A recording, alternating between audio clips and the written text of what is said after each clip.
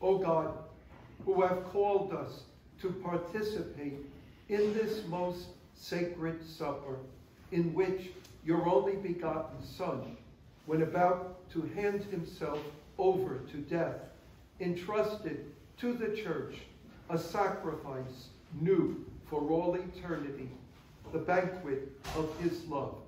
Grant, we pray, that we may draw from so great a mystery the fullness of charity and of life. We ask this through our Lord, Jesus Christ, your Son, who lives and reigns with you in the unity of the Holy Spirit, God forever and ever. Amen.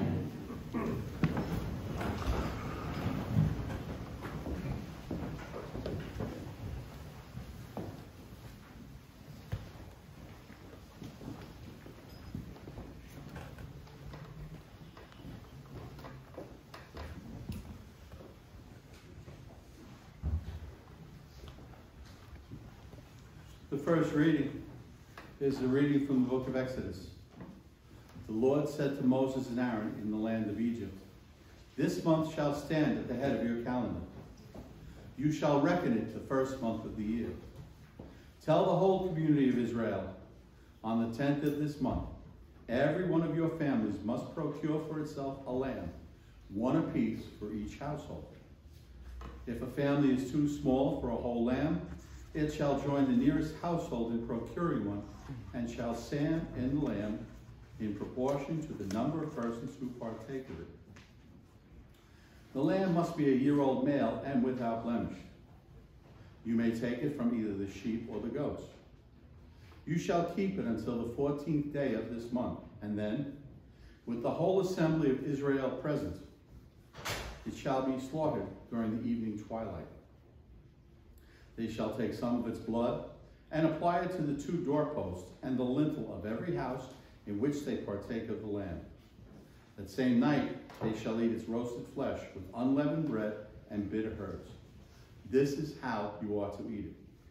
With your loins girt, sandals on your feet, and your staff in hand. You shall eat like those who are in flight. It is the Passover of the Lord. For on the same night I will go through Egypt, striking down every firstborn of the land, both man and beast, and executing judgment on all the gods of Egypt. I, the Lord. But the blood will mark the houses where you are. Seeing the blood, I will pass over you. Thus, when I strike the land of Egypt, no destructive blow will come upon you.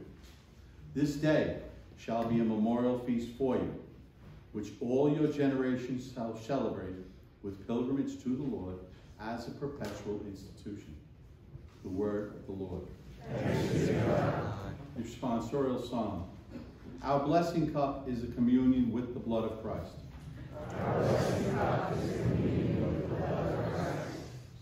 How shall I make a return to the Lord for all the good he has done for me? The cup of salvation I will take up, and I will call upon the name of the Lord.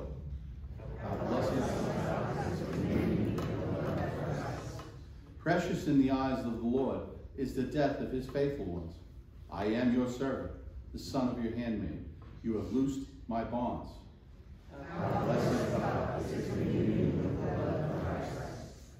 To you will I offer sacrifice of thanksgiving, and I will call upon the name of the Lord.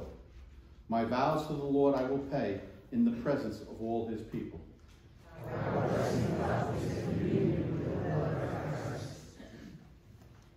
The second reading is a reading from the first letter of St. Paul to the Corinthians.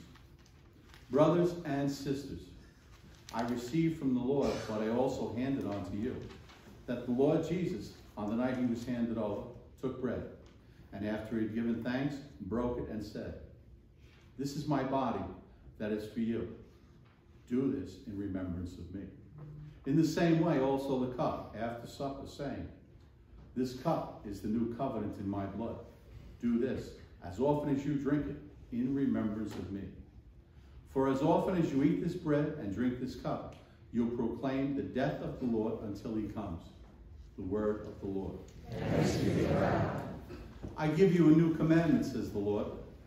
Love one another as I have loved you.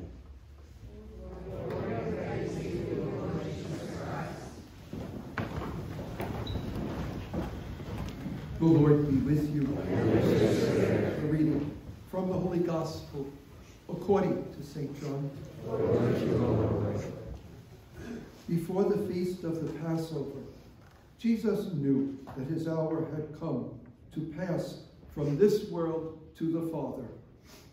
He loved his own in the world, and he loved them to the end. The devil had already induced Judas, son of Simon, the Iscariot, to hand him over. So during the supper, fully aware that the Father had put everything into his power, and that he had come from God and was returning to God, he rose from supper, took off his outer garments. He took a towel and tied it around his waist. Then he poured water into a basin and began to wash the disciples' feet and dry them with the towel around his waist. He came to Simon Peter, who said to him, Master, are you going to wash my feet? Jesus answered and said to him, What I am doing you do not understand now, but you will understand later. Peter said to him, You will never wash my feet. And Jesus answered him, Unless I wash you, you will have no inheritance with me. Simon Peter said to him, Master, then not only my feet, but my hands and my head as well. Jesus said to him, Whoever has bathed has no need except to have his feet washed, for he is clean all over. So you are clean, but not all. For he knew who would betray him, and for this reason he said, Not all of you are clean. So when he had washed their feet, he put his garments back on and reclined at table again. He said to them, Do you realize what I have done for you? You call me teacher and master, and rightly so, for indeed I am. If I, therefore, the master and teacher, have washed your feet, you ought to wash one another's feet. I have given you a model to follow, so that as I have done for you, you also should do. The Gospel of the Lord. In the name of the Father, and of the Son, and of the Holy Spirit. Tonight, with Holy Thursday, we are in the upper room in Jerusalem, where Jesus celebrated the first Mass, the Last Supper, where he told his disciples, This is my body, this is my blood. Do this in order that sins may continue to be forgiven. We're commemorating the first Mass by celebrating a Mass. And that's what Sacred Heart is here for. This is the place where Christ comes down from heaven whenever the Mass is said. The value of a Mass is infinite. Padre Pio said, it was a little prayer in our bulletin a few weeks ago. If you only understood the value of one Mass, you would crawl on your hands and knees in order to be there. If you understood what one Mass can accomplish for you when you enter it with all your heart and soul. First of all, this Mass that is the center of our Catholic faith. I can remember some years ago being at a funeral.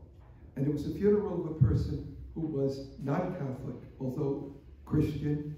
And I went because one of the children had become Catholic, who I knew well. So I went to the funeral. And I remember at that funeral. I knew the person who had died as well.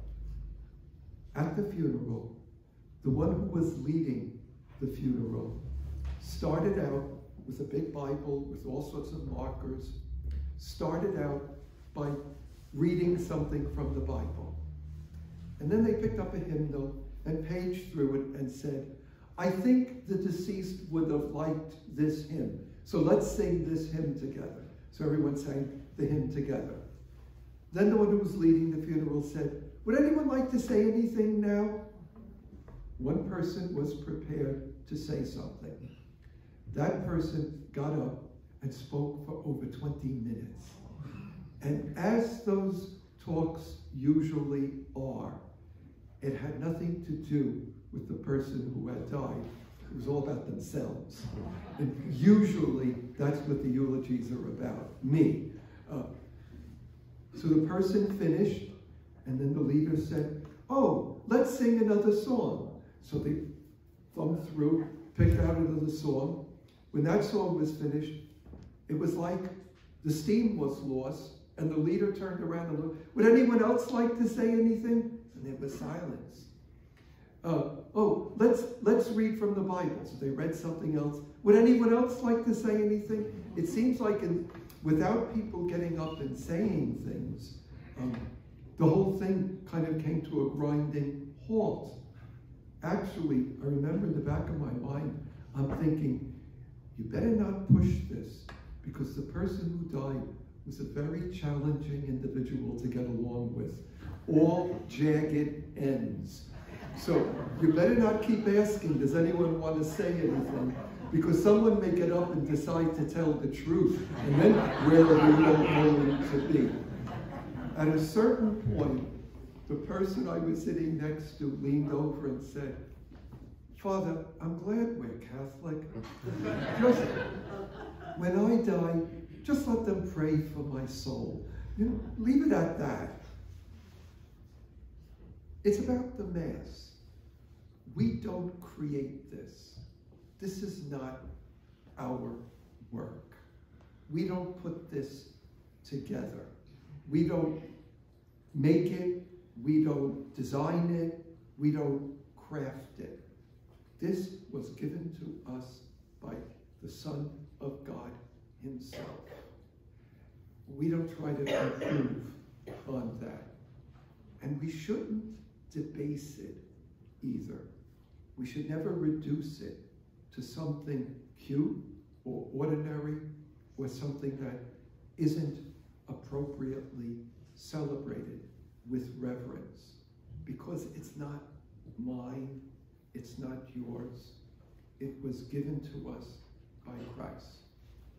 When the Mass is said, we enter a moment in time that doesn't end. The moment begins with the Last Supper. That moment continues through tomorrow's Passion.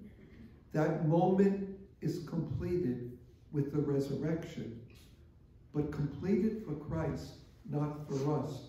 It exists for all eternity.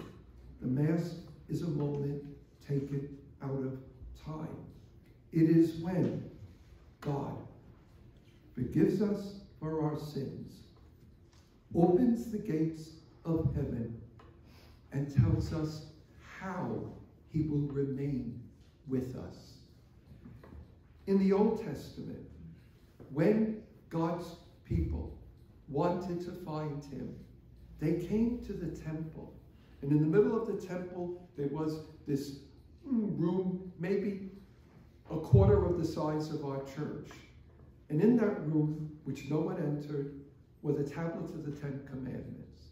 And in the book of Exodus, in the Old Testament, God had said, where the, those commandments are, that's where I am. So when the people wanted to find God, that's why Blessed Mother, St. Joseph, the apostles, several times a year, they went to Jerusalem to be as close to God as they could get, because that's where he was. Tomorrow we're going to find out he's not there anymore. Now, if we want to find God, we come to a different tabernacle, a much smaller one. But God is there because He told us that when we take the bread and say the words that He said, not my words, but the words that He said, when we take the chalice and say the words that He said, not my words, His words, when we do this, sins are forgiven and the world is being saved. Christ is in the act of saving the world. For as long as people will exist, they will need salvation. So with each Mass, this continues. The salvation of the world, the forgiveness of sins. And that's why Padre Pio said, if we only understood what one Mass accomplishes. We know about Our Lady of Guadalupe. In the 1500s, Blessed Mother appeared to St. Juan Diego outside of Mexico City. Juan Diego had been a recent convert. He had been an Aztec and worshiped the Aztec gods when he grew up. But once he accepted the Catholic faith, he was a sharecropper farmer. He walked many miles to the field that he worked to share the produce with the owner of the field. The farmer begins to farm at like five o'clock in the morning. Juan Diego would first walk an hour to the nearest church to go to Mass in the morning. He would get up at three o'clock so that he could get to Mass in the morning and then get to his field because he understood what happened at the Mass. God is coming down from heaven. There is a thought that I always have. Um, is it theologically deep? Probably not. But the thought has remained all the years of my priesthood. When the priest holds up the host, God comes down from heaven and touches it, and it becomes his body. When the priest holds up the chalice, God comes down from heaven and touches it, and it becomes his precious blood. And the salvation that he came to accomplish, our sins are forgiven, the world is saved, and life can flourish because of that Mass. It's not our creation. God gave it to us. We approach it at all times with reverence, with the faith of Juan Diego that made him get up at three in the morning so that he could go to Mass. From the grace of that Mass, from what God gives us in that Mass, especially if we receive Holy Communion, from that flows charity and kindness and goodness to others.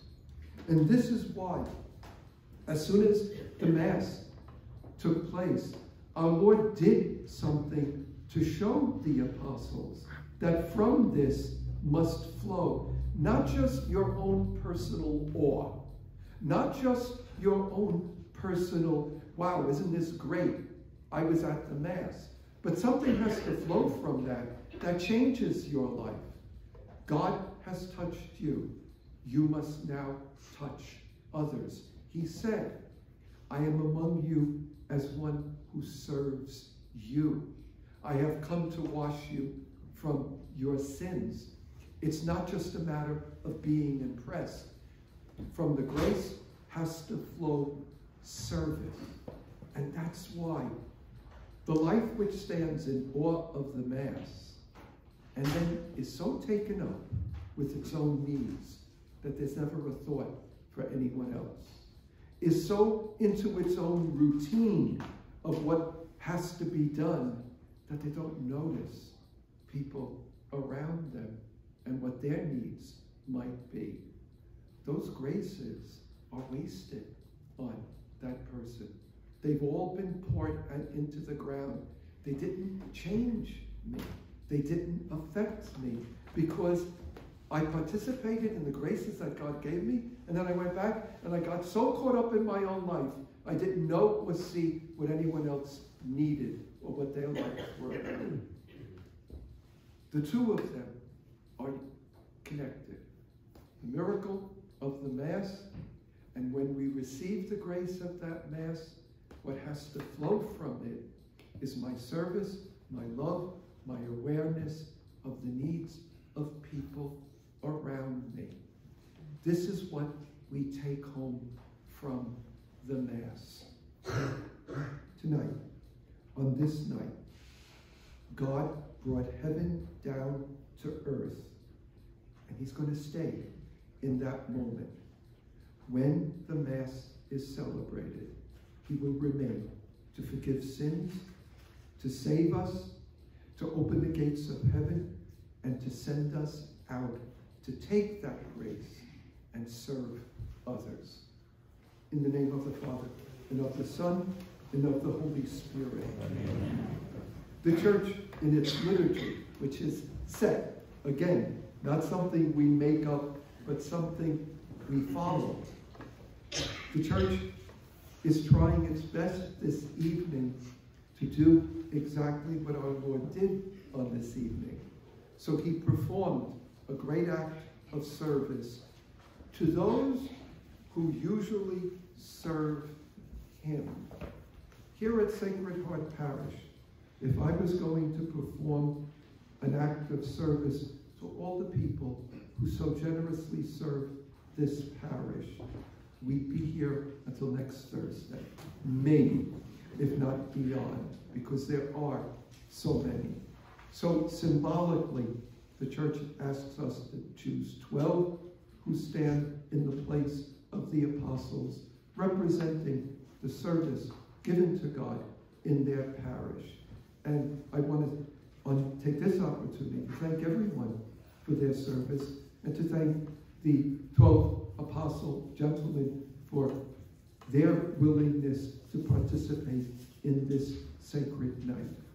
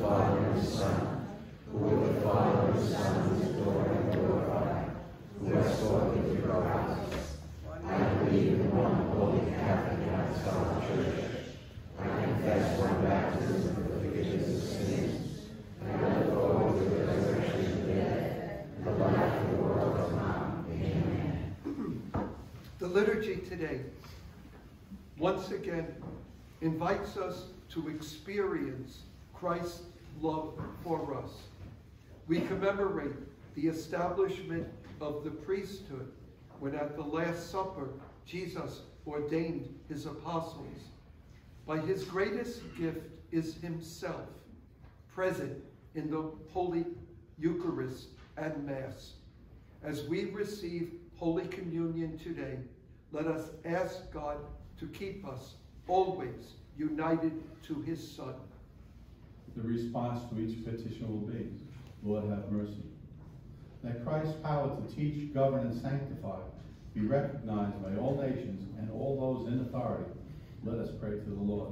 Lord, have mercy. That the poor and downtrodden of the earth may learn of Christ's concern for them and thus have hope. Let us pray to the Lord.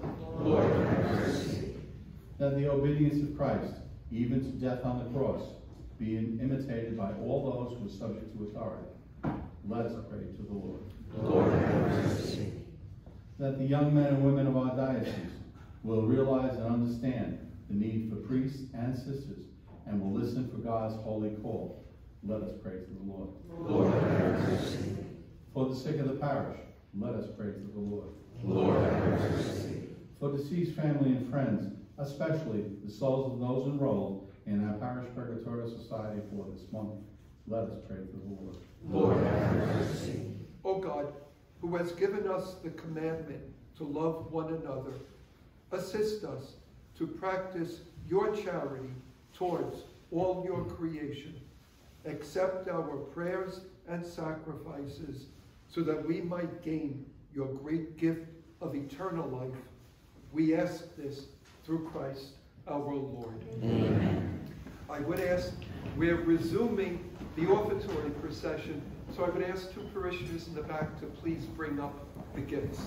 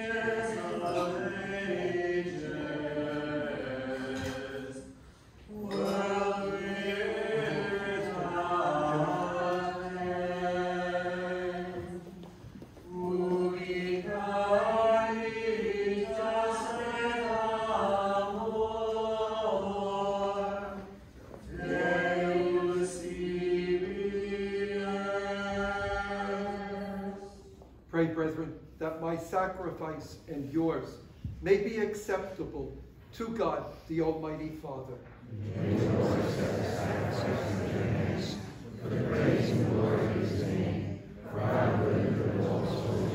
Again, let us pray.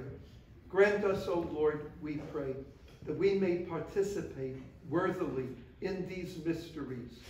For whenever the memorial of this sacrifice is celebrated, the work of our redemption is accomplished, and we ask this through Christ our Lord. The Lord be with you. With Lift up your hearts. Up Let us give thanks to the Lord our God. It is, right It is truly right and just, our duty, our salvation, always and everywhere, to give you thanks, Lord, Holy Father, Almighty, eternal God, through Christ our Lord. For he is the true and eternal priest who instituted the pattern of an everlasting sacrifice and was first to offer himself as saving victim, commanding us to make this offering of his memorial as we eat his flesh that was sacrificed for us. We are made strong. As we drink his blood that was poured out for us, we are washed clean.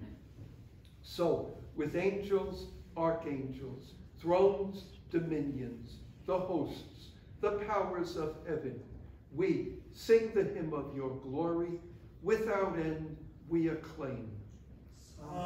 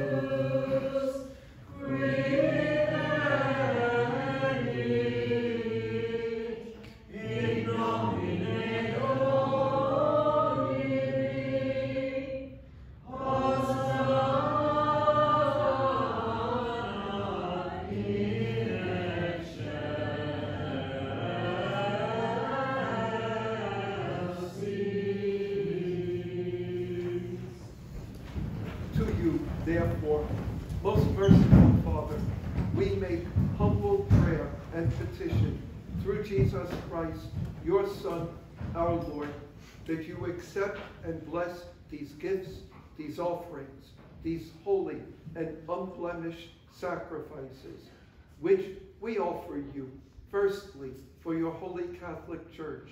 Be pleased to grant her peace, to guard, unite, and govern her throughout the whole world, together with your servant Francis, our Pope, John, our Bishop, and all those who, holding to the truth, hand on the Catholic and Apostolic faith. Remember, Lord, your servants and all here gathered whose faith and devotion are known to you. For them we offer you this sacrifice of praise, or they offer it for themselves and all who are dear to them, for the redemption of their souls, in hope of health and well-being, and paying their homage to you, the eternal God, living and true, celebrating the most sacred day on which our Lord Jesus Christ was handed over for our sake, and in communion with those whose memory we venerate, especially the glorious ever Virgin Mary, Mother of our God and Lord Jesus Christ, Blessed Joseph, her spouse, your blessed apostles and martyrs, Peter and Paul, Andrew, James, John, Thomas, James, Philip, Bartholomew, Matthew, Simon and Jude, Linus, Cletus, Clement, Sixtus, Cornelius, Cyprian, Lawrence, Chrysogonus, John and Paul, Cosmas and Damian, and all your saints. We ask that through their merits and prayers in all things, we may be defended by your protecting help. Therefore, Lord, we pray, graciously accept this oblation of our service and that of your whole family, which we make to you as we observe the day on which our Lord Jesus Christ handed on the mysteries of his body and blood for his disciples to celebrate. Order our days in your peace. Command that we be delivered from eternal damnation and counted among the flock of those you have chosen. Be pleased, O God, we pray, to bless, acknowledge, and approve this offering in every respect. Make it spiritual and acceptable, so that it may become for us body and blood of your most beloved Son, our Lord Jesus Christ. On the day he was to suffer for our salvation and the salvation of all, that is, today, he took bread in his holy and venerable hands, and with eyes raised to heaven, to you, O God, his almighty Father, giving you thanks, he said the blessing, broke the bread, gave it to his disciples, saying, Take this, all of you, and eat of it, for this is my body, which will be given up for you.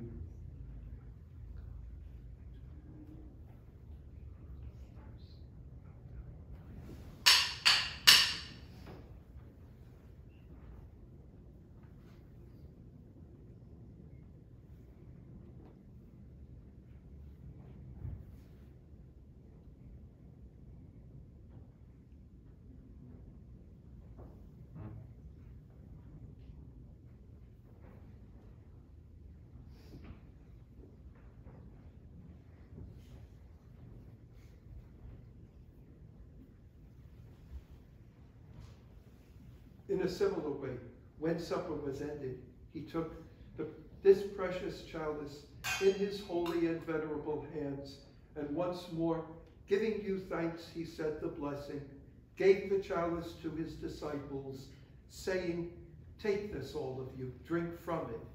This is the chalice of my blood, the blood of the new and eternal covenant, which will be poured out for you, for many for the forgiveness of sins. Do this in memory of me.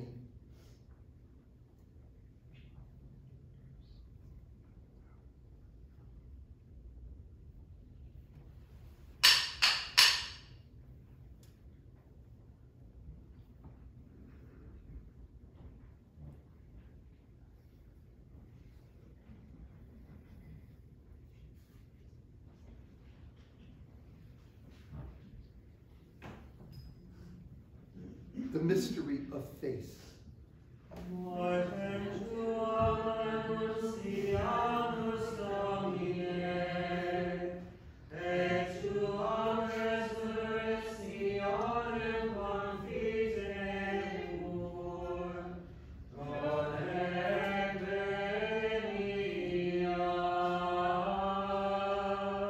Therefore, O Lord, as we celebrate the memorial of the blessed passion, the resurrection from the dead, the glorious ascension into heaven of Christ, your Son, our Lord.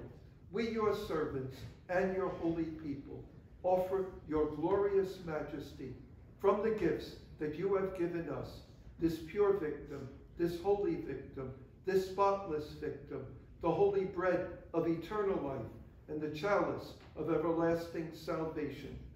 Be pleased to look upon these offerings with a serene and kindly countenance, and to accept them as once you were pleased to accept the gifts of your servant Abel the just, the sacrifice of Abraham our father in faith, the offering of your high priest Melchizedek, a holy sacrifice, a spotless victim.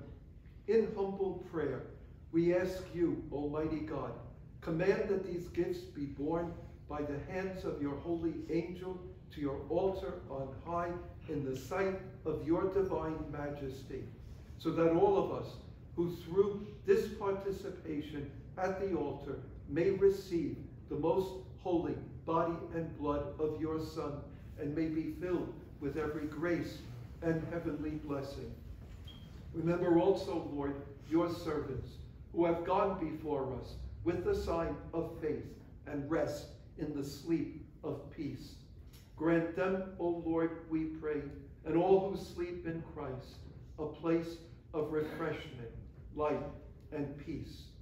To us also, your servants, who those sinners hope in your abundant mercies, graciously grant some share and fellowship with your holy apostles and martyrs, John the Baptist, Stephen, Matthias, Barnabas, Ignatius, Alexander, Marcellinus, Peter, Felicity, Perpetua, Agatha, Lucy, Agnes, Cecilia, Anastasia, all your saints, admit us, we beseech you, into their company, not weighing our merits, but granting us your pardon, through whom you continue to make all these good things, O Lord. You sanctify them, fill them with life, bless them, and make them holy.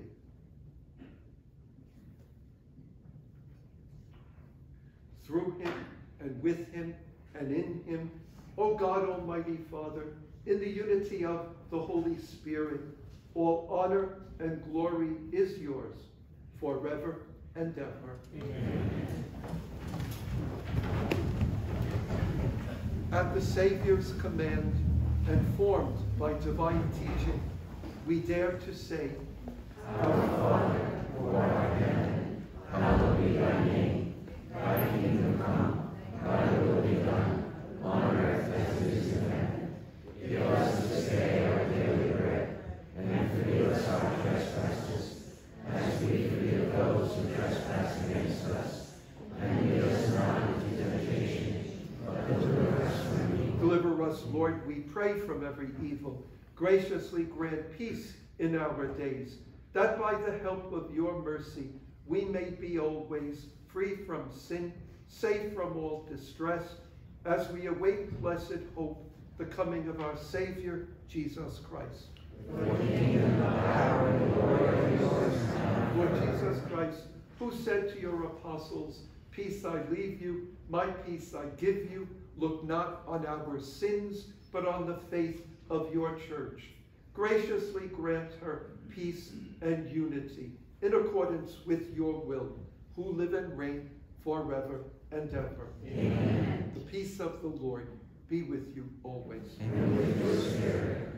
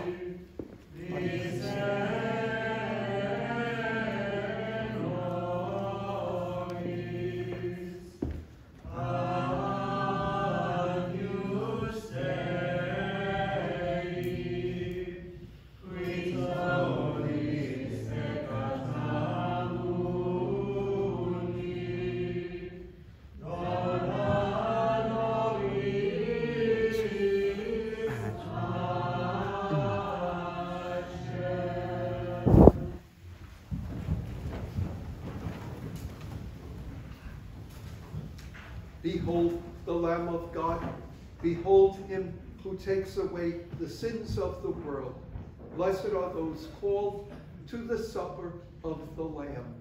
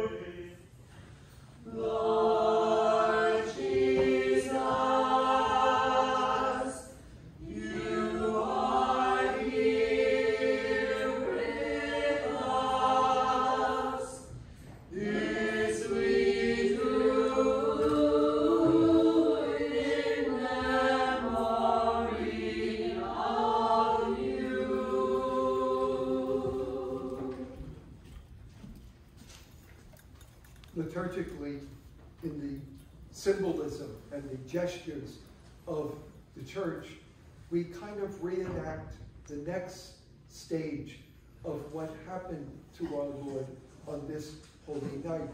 We know that when the Bible tells us when the supper was ended, he went to the garden with his apostles and he was arrested there.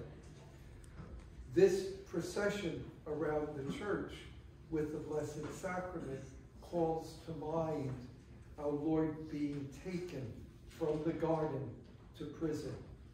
That night, he was in jail alone for the night, waiting for the trial the next morning. So, the Blessed Sacrament is placed in the altar of repose, which kind of looks like a prison cell, but we don't leave him alone. Symbolically, we want to show him that our faith is great and we're not going to run away. We stay with him throughout the night.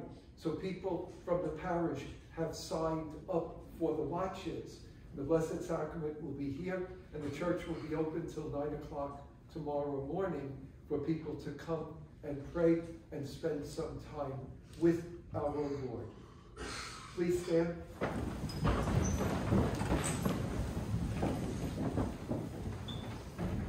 Grant, Almighty God, that just as we are renewed by the supper of your Son in this present age, so we may enjoy his banquet for all eternity, who lives and reigns forever and ever. Amen. As the procession with the Blessed Sacrament passes where you are, genuflect as a sign of your adoration. Angelum ad